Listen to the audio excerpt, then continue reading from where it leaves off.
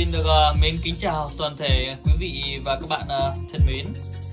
Uh, hôm nay uh, em tiếp tục làm một cái video khui thùng một cái sản phẩm mà đã được một cái bác khách ở, ở tại Việt Nam. Em cũng quên mất không nhớ là bác ấy ở tỉnh nào nữa. À, bác ấy đã chuyển tiền đặt cọc, tức là bác ấy nhờ em mua giúp thì hôm nay hàng đã về rồi. Đấy, em uh, sẽ tiếp tục làm một cái video clip khui hàng trực tiếp để uh, cho nó khách quan các bác nhá. Để cho nó khách quan uh, xong rồi em sẽ test luôn trực tiếp cho bác xem. Cho nó khách quan là sản phẩm mà hàng về như thế nào thì là em sẽ uh, gửi cho bác là như vậy. Đấy, để tránh không có bác lại sợ lại bảo là hàng uh, đã sửa hay là đã động chạm gì tới các bác nhé đại khái là như vậy. Thì uh, cũng rất may là trong cái thời gian uh, vừa qua cũng được uh, rất nhiều các bác uh, uh, yêu mến audio uh, uh, ở tại Việt Nam. Thì các bác cũng yêu mến và tin tưởng uh, em. Thì đã có đặt hàng em cũng mua cho các bác ở Việt Nam rất là nhiều rồi các bác. Gửi về Việt Nam khá là nhiều rồi. Thì em cũng xin được uh, chân thành cảm ơn. Gửi lời uh, chân thành cảm ơn sâu sắc tới uh, tất cả các bác khách hàng đã rất là tin tưởng trao niềm tin để em có thể uh, uh, trao lại cho các bác các cái sản phẩm uh, uh, hàng bãi. Đấy, hàng uh, audio hàng bãi được tuyển chọn trực tiếp uh, ship trực tiếp từ Nhật Bản về Việt Nam. Các bác nhé các bác uh, hoàn toàn yên tâm về chất lượng sản phẩm không uh, phải lo ngại gì về vấn đề là nó bị hỏng hóc hay sửa chữa bởi vì như này. Khi mà em mua ở tại bên Nhật ấy, nếu như mà em sẽ hỏi người ta bán trước. Khi mà người ta bán cho mình một cái sản phẩm mà vô tình mình về mình mở ra mình bật lên. Mình à, check mình kiểm tra mà nó bị lỗi bị hỏng ở đâu. Thì là mình có quyền được đổi lại đổi trả hàng các bác nhé. Đấy. ở bên này rất là hay. Khi mà nó lỗi thì mình sẽ gọi điện ngay cho bên bán và yêu cầu trả đổi hàng. Đấy, chứ còn em không có sửa bởi vì cái giá sửa chữa ở bên này á. Nếu như các bác mà có người quen và đã từng ở bên Nhật thì sẽ biết được cái giá sửa chữa thay thế linh kiện ở bên Nhật thì nó rất là đắt, nó tương đương với khoảng 60 hoặc 70 phần trăm cái giá trị của một cái sản phẩm mới các bạn nhé. Một cái sản phẩm mới. Nếu người ta sửa chữa ấy. trừ những cái mặt hàng cao cấp, quá là cao cấp thì là người ta mới đem đi sửa chữa thôi, chứ còn bình thường thì cũng ít khi người ta sửa chữa lắm. Ví dụ như là một cái món hàng mà có giá trị tầm khoảng à, 50 60 triệu mà nó bị lỗi hỏng là người ta cũng bán. Bán rác, bán thanh lý thôi chứ còn người ta cũng không có sửa chữa đâu. Ít đâu ạ. Vâng uh, không có dài dòng nữa thì bây giờ em sẽ đi vào vấn đề chính Đấy. Đấy. phía dưới đây chính là cái sản phẩm uh, để mà chúng ta khui thùng trong buổi tối ngày hôm nay các nhé Đấy. một em uh, giải mã Pure N50 Đấy. hàng con uh, nguyên thùng thùng này và cái giấy dán này của bên vận chuyển này chưa bóc cái giấy này không bóc được ra đâu bóc là nó rách còn nguyên băng keo đây thì bây giờ em sẽ bóc ra. Đấy. sẽ bóc ra và lần nữa sẽ test cái ờ, sản phẩm này. À, bác ngoài ra bác cũng có đặt thêm một bộ mic nữa. Một bộ mic micro không dây. Đấy. đây là phụ kiện của nó này đúng không dây nguồn và khiển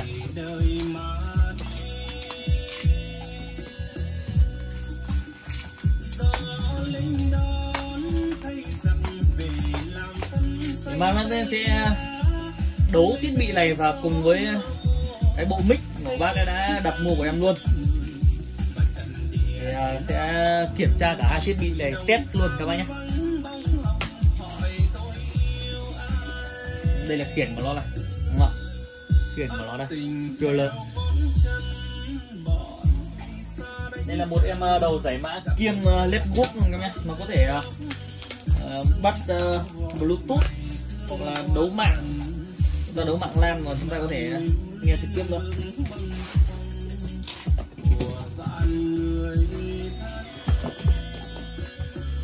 Rồi. Đấy, thì ở Nhật họ gói như thế này thôi là vận chuyển đi đã an toàn rồi các bạn. Nhưng mà nếu về Việt Nam mà chúng ta mà gói như này á thì 10 con là đến 9 con sẽ bị hỏng các cái góc cạnh.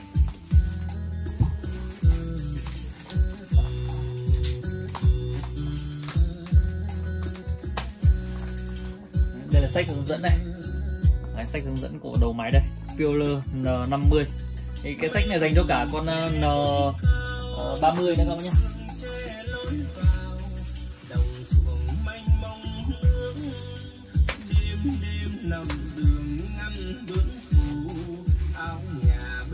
Rồi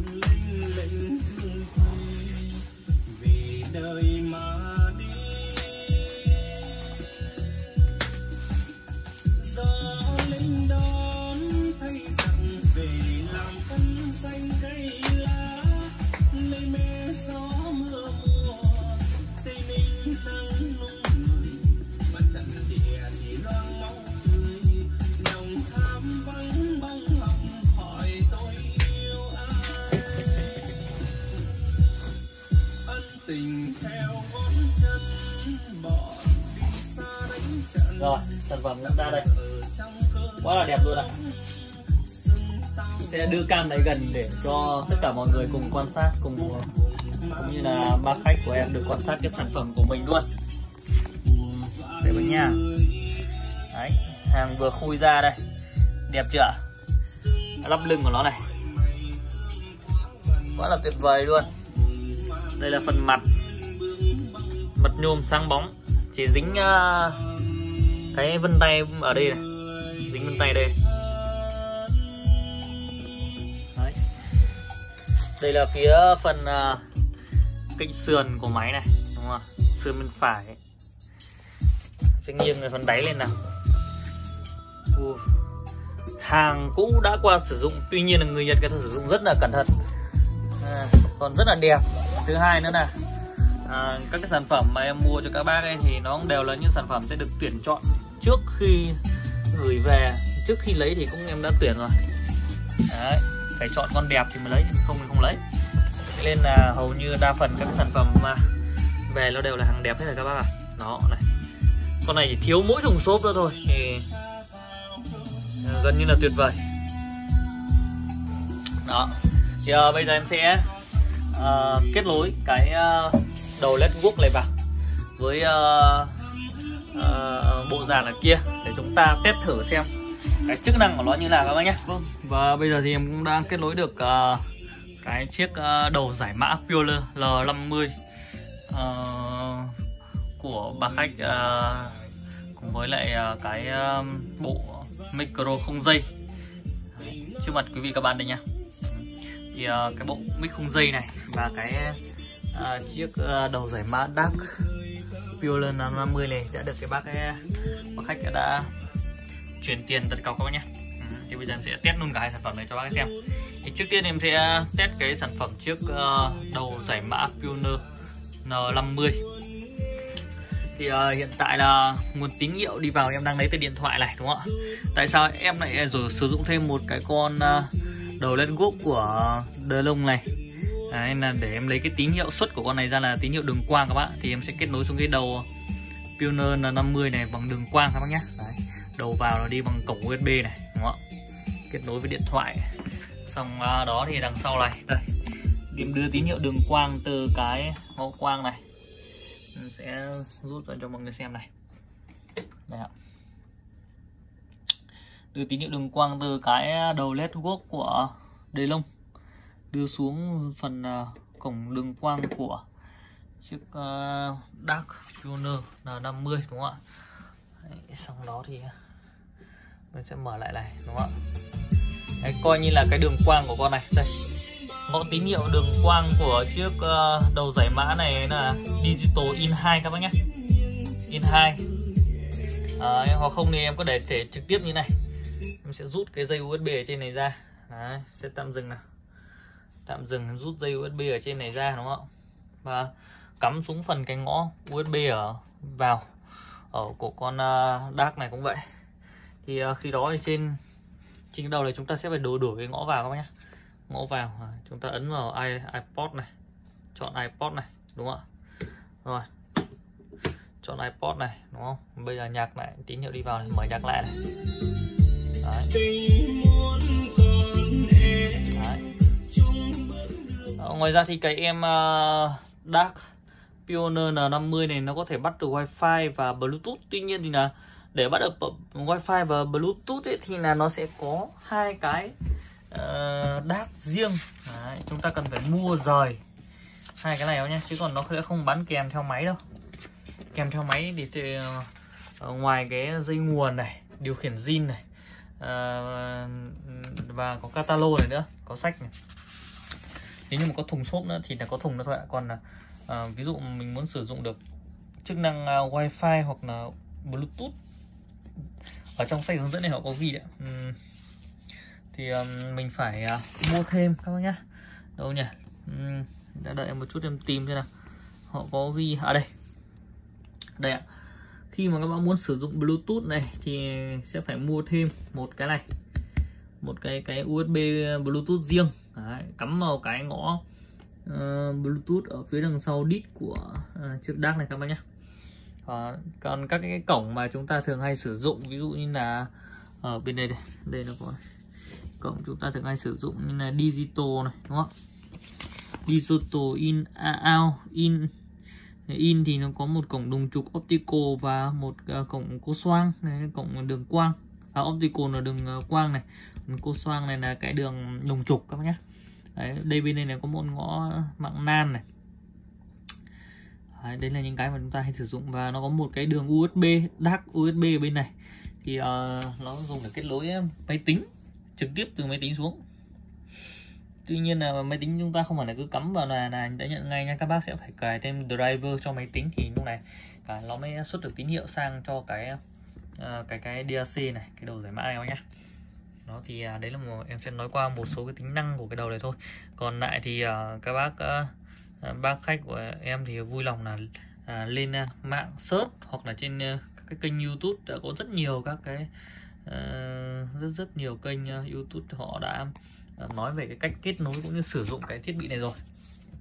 Thì chúng ta chỉ cần ngồi xem và ờ, chịu khó tìm hiểu một chút thì là sẽ có thể sử dụng được. Các nhá. Đấy bây giờ em sẽ lại đưa cái cái dây USB này về trên cái đầu network ở trên để chúng ta khai thác cái đường quang của con này. Đấy. Mình rút ra này. Đúng không ạ? Cắm lên. Rồi thì lúc này chúng ta sẽ phải chuyển cổng. Chuyển cổng cho cái này về à đi in 2 các bác nhé. Đó. Đi in 2 ok. Đấy.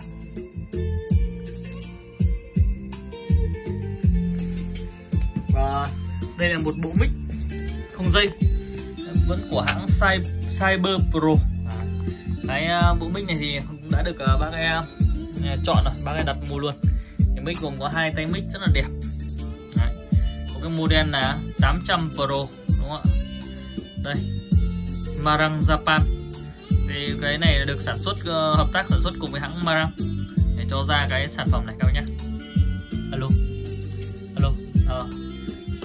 Để mà hát thì chúng ta sẽ cần phải bây giờ sẽ giảm volume ở trên vang đi tăng cái volume của trên âm ni lên hướng 11 giờ. Alo, alo, alo. đó. Như thế này thì uh, sẽ nghe nó dễ dàng hơn. Đó. đây là em thử một chiếc mic này đúng không? Em sẽ thử chiếc còn lại nhé alo một hai ba bốn đây là cái bộ ờ, sạc của nó này. Đúng không? đây là bộ sạc dành cho tay mic và đây là có hai tay mic. Mic ờ, không dây ờ, dùng dạng sạc.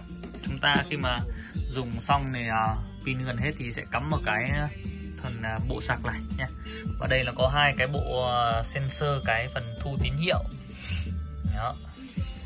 Ngoài ra thì phía mặt trước của cái đầu thu này, nó sẽ có hai cái đèn này, dùng để báo cái tần số của mic đây em sẽ tháo cái này ra. Để chúng tôi xem. Dạ, sẽ có cái tần số của mic. Chúng ta đưa tần số của mic và tần số của đầu thu về cùng với nhau là sẽ uh, có thể bắt được. Đẹp đây phía trong này nó có số 24 này đúng không?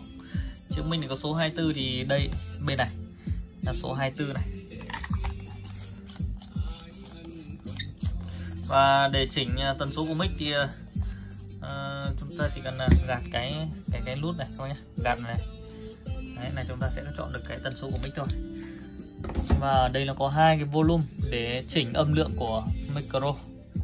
Em sẽ cho nó ở mức volume max à cho cái mức 12 giờ thôi ạ.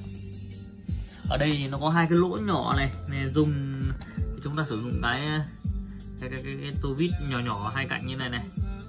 Đúng không? ạ, hai cạnh này chọc vào đây để chúng ta có thể chỉnh được cái ờ, gọi là chỉnh chép mic chép và mic bass đúng không ạ? Chỉnh âm bass của cái mic này và âm cao của mic.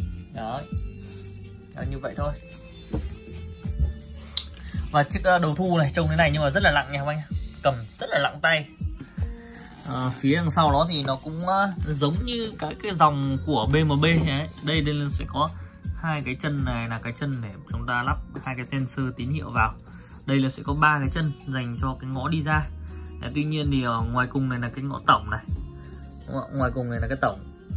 Còn cái ờ, đây cái số 2 này là dành cho mic số 2 cái số 1 dành cho mic số 1 nếu chúng ta cắm riêng từng cái một. Đấy, còn không thì chúng ta sẽ cắm một cái tổng này vào. Đưa cái dây trùng này đi lên vang. Thế là được rồi. Em thì em hay ờ, hay sử dụng như vậy. Đấy, đấy và đây ạ. À, em này thì à, là made in Japan. Đấy, được sản xuất tại Nhật luôn các bác nhé 100% model 800 Pro. Đấy.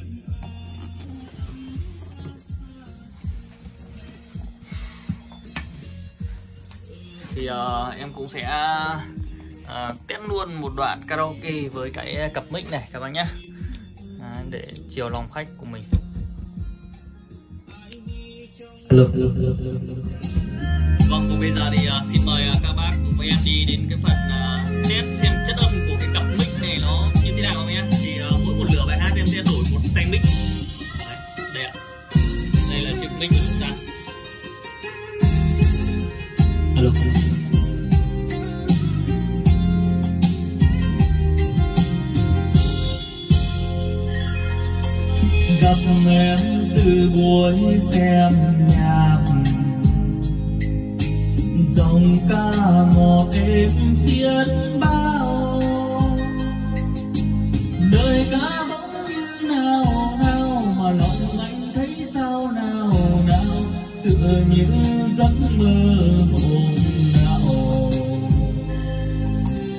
Từ khi gặp em anh buồn.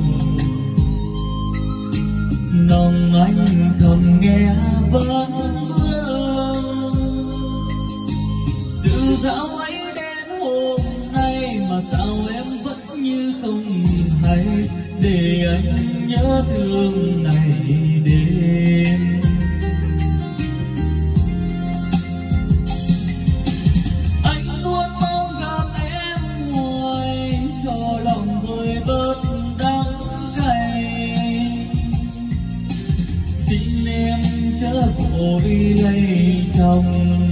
Người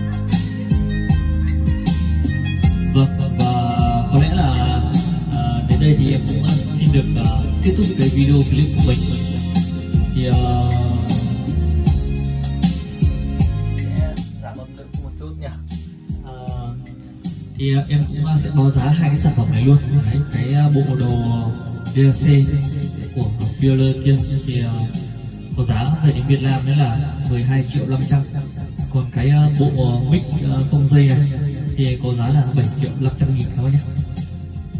Thì bộ mic này sẽ đắt hơn với cái bộ của BMW lúc trước em giới thiệu một chút. Đấy. và tuy nhiên thì nó sẽ cho cái chất âm nó sẽ hay hơn. Thì tiền nào của đấy các bác nhé sẽ hay hơn được một chút. À, video của em cũng xin được uh, kết thúc tại đây. Xin chào và hẹn gặp lại các bác trong các cái video clip tiếp theo. Xin cảm ơn.